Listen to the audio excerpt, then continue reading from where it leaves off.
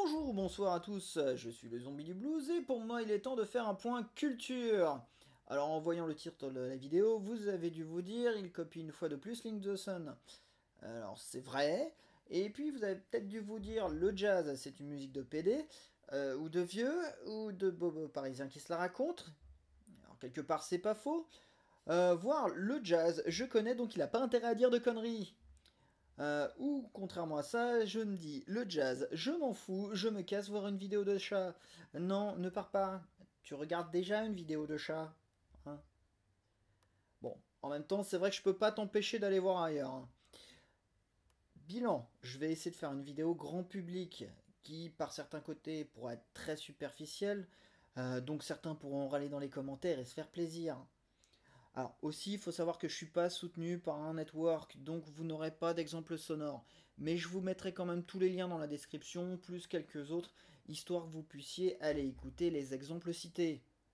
Et je n'ai pas de transition. Alors, bien avant que le jazz ne voit le jour, au XVe siècle commence le commerce triangulaire, quand des Européens kidnappent des Noirs d'Afrique subsaharienne pour les envoyer en Amérique afin d'en faire des esclaves. Oh, ça sent la joie Et dans ces esclaves, il y avait des musiciens. la particularité des cultures noires africaines, c'est que leur savoir se transmet via l'oral, contrairement en Europe où le savoir se transmet via les arts picturaux, l'écriture ou les arts plastiques. On dit d'ailleurs là-bas qu'un vieux qui meurt, c'est comme une bibliothèque qui brûle. C'est grâce à cette transmission orale que les esclaves africains vont transmettre de génération en génération leur savoir. Et c'est grâce à ça que le blues, le jazz, le gospel, le negro spiritual commencent à voir le jour. Il n'y a pas de témoignage de ces faits-là car le fait de l'esclavage a fait que l'on ne considérait pas la production des esclaves. Avant la guerre de sécession, les esclaves étaient un luxe. Le premier président des États-Unis, George Washington, en possédait 400. Donc, ces esclaves écoutaient de la musique de riches, du classique, mais pas que. Hein. Euh, c'est comme ça que les esclaves ont accumulé le savoir des musiques d'origine européenne au savoir de leur musique africaine. Après la guerre de sécession, ces esclaves devenus libres ont pu faire de la musique, mais on ne considérait pas vraiment mieux ce que l'on appelait à l'époque la musique nègre. C'était son nom. Ces noirs faisaient de la musique pour d'autres noirs, et rares étaient les blancs qui prêtaient attention à cette musique. Ce fut le cas de Anton Dvorak. C'est à cette période que se créèrent les standards du jazz comme Tiger Rag. Donc difficile de donner une date de naissance au jazz, ce serait dans la deuxième moitié du 19e siècle. Cette transmission orale et le fait que les blancs américains ne voulaient pas donner d'éducation aux noirs a eu plusieurs conséquences. Ces noirs ne savaient ni lire ni écrire, et encore moins de la musique, et le jazz est devenu une musique basée sur l'improvisation. Et surtout, surtout, le jazz est une musique populaire. C'est pendant la Première Guerre mondiale que des musiciens de jazz vont trouver une terre d'accueil, l'Europe. Les soldats noirs étaient envoyés en France pour servir de grouillot aux soldats blancs. Le Ku Klux Klan ne voulait pas que des noirs apprennent à utiliser des armes. En Europe, dès qu'ils avaient un peu de temps, ils improvisaient avec euh, quelques instruments qu'ils trouvaient. C'est à ce moment-là que des dignitaires de l'armée française et des armées européennes prêtèrent attention à cette musique et ils demanderont à voir les partitions qui n'existent pas. Et ils demanderont même à regarder les instruments, voir s'ils n'avaient pas été modifiés, ce qui n'était pas le cas. Après la Première Guerre mondiale, les jazzman revinrent en France dans des milieux relativement aisés, ce qui a fait que ces mêmes milieux adoptèrent le jazz. Quant aux jazzman, eux, bah, ils étaient très contents de venir en France, hein, et dans d'autres pays européens après. Ah oui, j'ai dit que la France et d'autres pays européens étaient des pays racistes.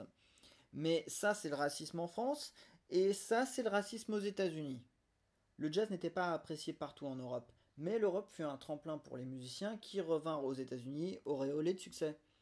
Après la Seconde Guerre mondiale, les jazzmen vont sortir de leur ghetto et leur musique va conquérir les États-Unis et être utilisée pour le cinéma, être enseignée dans les écoles de musique et ajoutée à la culture, etc.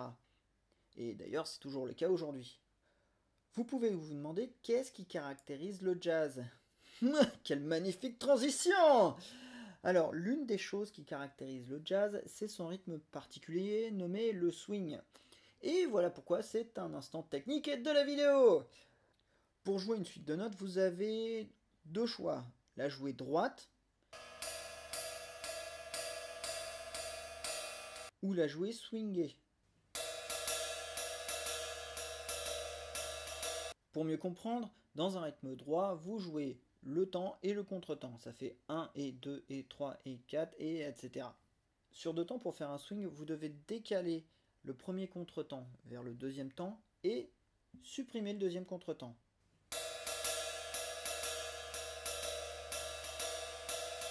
Et voilà ce que vous pouvez entendre. Et vous pouvez faire swinger n'importe quel type d'instrument. Au méga hasard, un harmonica.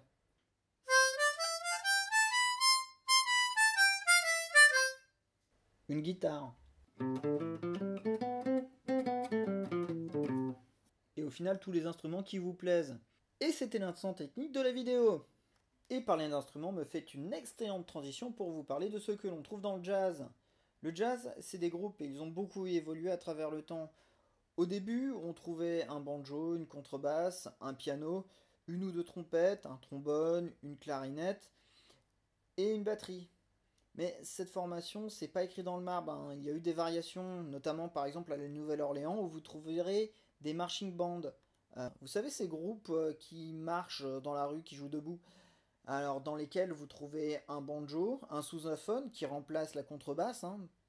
pas de piano, mais deux trompettes, un trombone, une clarinette, et pour remplacer la batterie, juste une caisse claire. Vous trouvez aussi des jukbands, vous savez ces formations constituées avec des instruments de fortune comme un washboard, une contrebassine, euh, des bidons, des cuillères et autres cigar box guitares. Avec le temps, les banjos ont été remplacés par des guitares, euh, les contrebasses par des guitares basses, les pianos a connu une évolution électrique, les trompettes se sont multipliées, les trombones aussi, ainsi que les saxophones, et la batterie s'agrandit. Le jazz a su aussi se nourrir de culture latine, ça c'est grâce aux grosses communautés latines que vous trouvez aux États-Unis. Voilà pourquoi vous trouvez du latin jazz avec la présence de congas ou de timbales. Mais aussi des instruments moins fréquents et on va dire plus classiques comme des xylophones ou des vibraphones, voire des violons. Voire vous pouvez également trouver des instruments moins conventionnels comme des steel drums ou des koras. Il n'y a pas d'instrument fixé au jazz. Hein. Si vous voulez en faire ou en écouter, tout passe. Hein. Ukulélé, ocarina, instrument traditionnel, vous n'avez que l'embarras du choix. C'est d'ailleurs ce qui m'a posé pas mal de soucis d'écriture pour ce point culture. Euh, je ne pouvais pas parler de tous les instruments, c'est ce qui a fait que j'ai dû passer certains faits que je trouvais intéressants sous silence. Les choix ont été cornéliens, et donc pour illustrer des propos, j'ai dû sélectionner 20 musiciens de jazz. Je n'ai pas sélectionné les meilleurs, j'ai sélectionné ceux qui me paraissaient le plus marquants pour diverses raisons, et pas purement techniques ou musicales. Le choix reste donc personnel et souvent subjectif. Je citerai aussi d'autres musiciens hors de ce top, parce que certains ont fait un passage par le jazz pour diverses raisons, ou que je voulais laisser une petite piste qui vous permettrait de découvrir d'autres musiciens. Et pour commencer, Sidney Bechet, ce clarinettiste et saxophoniste natif de la Nouvelle-Orléans, est l'un des grands noms du style de jazz New Orleans. C'est l'occasion de parler de cette ville. À la fin du 19e siècle, le jazz commence à se populariser à partir de cette ville de Louisiane. Ce qui caractérise ce jazz, c'est qu'il est un dérivé des polkas et des quadrilles que vous trouvez en Europe. À partir de là, le jazz va s'affirmer et s'étendre dans les États-Unis. C'est cette ville qui a permis la composition de grands standards comme Tiger Rag. Et aussi à titre indicatif, la série NCIS Nouvelle-Orléans fait régulièrement référence au jazz. Quant à Sidney Bechet, ben, je vous conseille d'écouter Les Oignons et Petites Fleurs. Numéro 2, John Coltrane.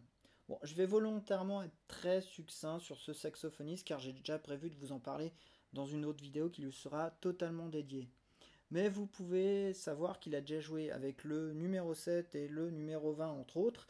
Euh, c'est l'occasion de dire que le jazz c'est des formations qui sont pas très très stables, voire même totalement instables. Nombre de musiciens passent d'une formation à l'autre et des fois finissent par créer la leur. Et ce fut le cas notamment pour John Coltrane, et je vous conseille d'écouter l'album Giant Step. Numéro 3, Dave Brubeck. Ce pianiste a fait tout un travail sur la longueur des mesures, et ça s'entend super bien dans des titres comme Tech 5 ou Up Square Dance, ou encore Eleven 4, ou encore euh, Blue Rondo à la turque. Je vous conseille d'écouter l'album Time Out, ça fait assez bizarre à la première fois, mais on se laisse assez vite porter. Euh, et à titre informatif, vous pouvez entendre Take 5 dans la série Malcolm, dans l'épisode 18 de la saison 7, qui s'appelle L'abri de mes rêves. Numéro 4, Buddy Rich. Alors comme dans la musique classique ou le métal, dans le jazz, la virtuosité est très très très appréciée. Et Rich, c'est la virtuosité à la batterie. Alors, un temps oublié du grand public, il retrouve un intérêt pour ce dernier grâce au film Whiplash, que quoi qu'il arrive, vous devez voir. Hein. Euh, Rich, c'est la virtuosité à la batterie. Non mais cette vitesse... Euh, le film aura aussi une influence sur, sur YouTube, où un espèce de Whiplash Caravan Challenge aura lieu, et nombre de batteurs et batteuses vont rejouer la scène finale du film. Donc au final, regardez Whiplash et vous saurez si vous êtes mazo.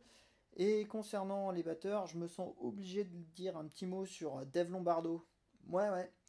Le batteur de Slayer a fait un passage dans le jazz. Et encore une fois, ben, je reparlais de musiciens qui font des allers-retours dans le jazz un peu plus tard.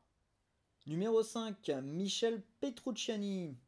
Alors, le jazz n'est pas une spécificité des États-Unis. On en trouve dans tous les pays du monde. Hein. Au Cameroun avec Manu Dibango, et en France, il y a encore de grands musiciens de jazz. Et pour Michel Petrucciani, ce pianiste a un jeu fin et léger que j'apprécie tout particulièrement. Et dans une interview, j'avais vu de lui qu'il voulait montrer des choses avec sa musique. Alors, ne soyez pas surpris par sa difformité, il était atteint de la maladie des os de verre, et malgré ça, il a réussi à dépasser son handicap pour devenir l'un des plus grands pianistes de France ce qui lui a permis d'avoir ses entrées dans des grands groupes américains. Et cela nous prouve aussi que tout le monde peut faire de la musique. Hein. Et c'est pas une question d'âge. Hein. Il y a le John, Joey Alexander qui nous prouve qu'il n'y a pas d'âge pour en faire. Numéro 6, Dizzy Gillespie. Depuis que le jazz existe, il a eu beaucoup d'évolutions, euh, ce qui a abouti à la création de dizaines de styles bien définis, comme le New Orleans, le bebop, en passant par le jazz funk, le jazz rock et plus récemment le jazz électro. Et le trompettiste Dizzy Gillespie illustre bien cette idée-là. Il eut plusieurs époques dans sa vie, dont notamment un passage en France, mais c'est l'un de ceux qui ont permis la création du latin jazz. Et pour cela, il inclut à sa formation des congueros comme Giovanni Hidalgo ou Jerry Gonzalez. Numéro 7, Miles Davis. Alors comme je l'ai dit, John Coltrane a joué avec ce trompettiste. Il a un biopic nommé Miles Ahead qui lui est consacré. Vous avez tous déjà entendu So What et All Blues sans même le savoir, mais c'est aussi un peu l'occasion de parler des formations de jazz, plus simplement dit les groupes de jazz. On trouve euh, une percussion qui tient le rythme, souvent assurée par une batterie, une partie mélodique assurée par un piano, une partie basse assurée par une contrebasse, une partie soliste assurée par une trompette et ou un saxophone. Et ça, c'était la formation de Miles Davis sur l'album So What. Et ça me donne aussi l'occasion d'introduire le numéro 8. Benny Goodman, ce clarinettiste était aussi chef d'orchestre. Et vous avez déjà tous entendu, sans le savoir, Sing Sing Sing ou Let's Dance. Je disais chef d'orchestre car le jazz a beaucoup évolué depuis sa création notamment dans la composition des formations. C'est l'occasion de parler des big bangs de jazz. Dans ces formations, la partie mélodique n'est pas seulement assurée par un piano, mais aussi par tout un tas de cuivres et autres saxophones, ce qui donne la possibilité d'inclure d'autres instruments, ce qui donne la possibilité de jeu entre les musiciens, là où la seule limite, bah, c'est l'imagination du compositeur ou des musiciens. Numéro 9, le tromboniste Glenn Miller il me permet de développer un petit peu les partitions, et je mets bien entre guillemets partitions, car quand on joue dans un big band, pour que le résultat soit sympa, chaque musicien a un rôle précis. Voilà pourquoi dans les big bands, on joue sur des portées dites euh, classiques. Mais dans les petites formations, on joue la plupart du temps sur des grilles de jazz. Quand je dis que le jazz est basé sur euh, une improvisation, cela ne veut pas dire qu'on fait n'importe quoi. Ces grilles sont en quelque sorte une partition. Chaque case représente une mesure et indique l'accord à jouer. Elles sont jouées une première fois par tous les musiciens, on appelle ça le thème, puis les solistes improvisent leur solo le temps que les autres musiciens jouent la grille en boucle. Et pour finir, on rejoue à nouveau le thème et le morceau prend fin. Ça, c'est la plupart des cas parce qu'il y a toujours un petit troll pour aller faire autre chose. Numéro 10, c'est Herbie Hancock. Ce pianiste a joué avec pas mal de grands noms, hein, comme Miles Davis, Il apporta de la nouveauté dans le jazz en y incluant des éléments de soul, de funk, de rock, euh, de disco, voire même de rap.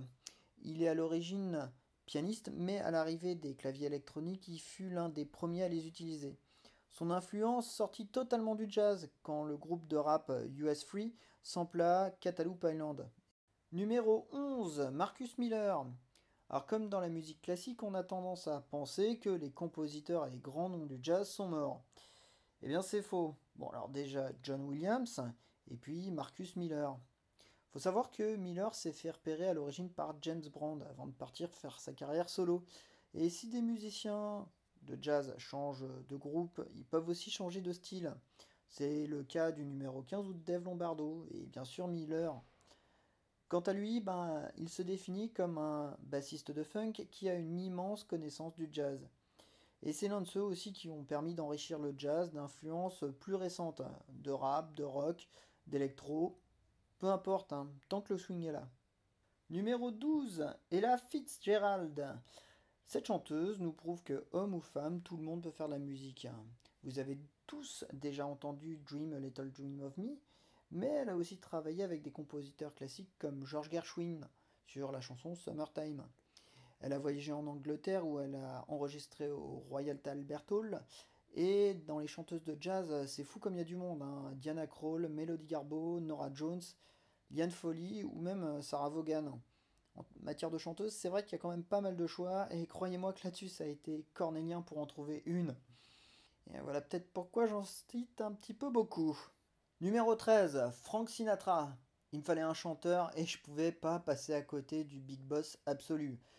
Aujourd'hui, Sinatra, c'est la méga classe. Hein. Mais à l'époque, c'était le bad boy par excellence. Hein. Musicalement, c'est le mec qui est capable de te prendre une chanson de Claude François qui te donne envie de t'ouvrir les veines pour en faire euh, My Way. C'est le mec aussi qui a une voix qui est capable de te faire rêver d'une girl of Ipanema. À tel point que Amy Winehouse s'appellera son premier album Frank pour lui rendre hommage. En matière de chanteur, j'avais aussi le choix avec Tony Bennett, mais bon, Sinatra me paraissait carrément plus indiqué. Numéro 14, Louis Armstrong. Dans le jazz, nombre de trompettistes gonflaient de façon démesurée leurs joues. Alors c'est lié à plusieurs choses. Déjà ils étaient autodidactes, mais ils n'avaient pas aussi les techniques de souffle que l'on enseigne dans les musiques. Gonfler les joues était un moyen pour eux de parer certaines lacunes. Avec le temps, leur visage se déformait. C'est ce qui a fait que Louis Armstrong a eu ce surnom de Satchmo, comme Satch Mouth, littéralement bouche sacoche. Faut savoir aussi que ça lui a agi sur les cordes vocales et quand vous l'entendez chanter, il a cette voix si particulière. Numéro 15, Fred Wesley. Bon, je cite le tromboniste, mais j'aurais pu aussi citer Pee Wee Ellis et Maceo Parker. Ils ont été tous les trois chefs d'orchestre de James Brown. L'idée de James Brown, c'était de mélanger l'énergie du rock et la capacité d'improvisation du jazz. Et voilà comment il a embauché des musiciens de jazz pour son orchestre. Et dans la foulée, il a créé la funk. Voilà comment Ellis, Parker et Wesley sont partis un temps du jazz, un petit peu comme le 18 d'ailleurs. Dans le cas de Wesley, il est revenu avec l'album Funk for Your Ass. Et je trouve que cet album de jazz est monumentalement influencé par le funk. Numéro 16, Nick LaRocha. Alors, même si vous avez une bonne connaissance en jazz, Nick LaRocha est pour vous sans doute un inconnu. Rien d'anormal à ça. LaRocha n'est même pas un bon musicien de jazz pour être tout à fait honnête. Il a quoi de particulier alors? Eh ben, il est le fondateur de Original Dixieland Jazz Band, le premier groupe de jazz qui a réussi à enregistrer un disque. Alors comme je vous l'ai dit, les sociologues qualifient les États-Unis de salad bowl, c'est-à-dire que les peuples s'y côtoient sans s'y métisser. Et le racisme a fait que les blancs ne voulaient pas écouter de la musique de noir. Et dès que le jazz commençait à avoir un petit peu de succès populaire, et eh ben pour le populariser encore un peu plus, il a fallu que ce soit un blanc qui enregistra les premiers disques. Numéro 17, Jaco Pastorius. Bon, au-delà du fait que The Chicken est un des grands standards pour tous les bassistes, et que nombre de bassistes sont, inspirés de Pastorius, euh, comme par exemple Stuart Zender euh, ou Nick Fife de Jamie Rockway, ou encore l'excellent Flea des Red Hot Chili Peppers, la vie de Jazzman a toute une vie de rockstar, hein, avec drogue pour Miles Davis, hein, euh, alcool pour Winehouse, sexe pour Sinatra, mort prématurée pour Coltrane, Et violence pour Pastorius. Il hein. faut savoir que ce mec s'est fait assassiner. Il a été battu à mort à la sortie d'une boîte de nuit le 19 septembre 1987. faut savoir qu'il mourra réellement dix jours plus tard. Alors oui, j'ai cité un bassiste, hein, mais j'aurais dû peut-être plus parler de contrebassistes comme euh, Avishai Cohen ou Paul Chambers. Hein. Je rectifie un petit peu ça et je confesse que j'ai fait ça parce que je suis tout simplement bassiste. Numéro 18, George Benson. Alors lui, il faut dire quand même que c'est le gars des extrêmes, hein, capable de te faire voyager avec Beyond the Sea et de te sortir un tube disco au rabais pour kéker en mal de boîte de nuit comme Give Me the Night. Que l'on doit oublier, de toute façon.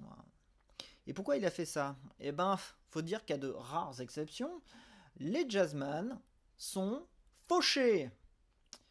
ils rapportent souvent plus après leur mort.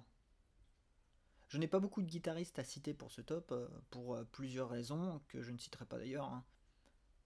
Mais il faut savoir que l'une d'entre elles, c'est que nombre de guitaristes que je connais se contentent trop souvent du minimum. Hein. Et Benson illustre bien ça avec Give Me the Night. Vous pouvez me dire qu'il y a Django Reinhardt euh, comme guitariste de jazz. Je répondrai que Reinhardt faisait du manouche, qui est un style de musique bien différent du jazz. Numéro 19, Chet Baker. Alors, comme je vous l'ai dit, ce qu'on aime avec le jazz, c'est la virtuosité, mais on aime aussi beaucoup la finesse. Et Baker, c'est la finesse avec la trompette. Hein. À l'écoute, on a vraiment l'impression qu'il fredonne avec cet instrument. Ce qui est d'autant plus difficile quand on a essayé de jouer de la trompette. Ce que je peux vous conseiller, c'est l'album Chet is Back et l'album Chet with String. En matière de trompettiste, j'aurais pu citer Ibrahim Malouf, mais vraiment je préfère Baker. Numéro 20 et dernier, Duke Ellington. Il me fallait un chef d'orchestre, faut savoir aussi que ce mec était pianiste.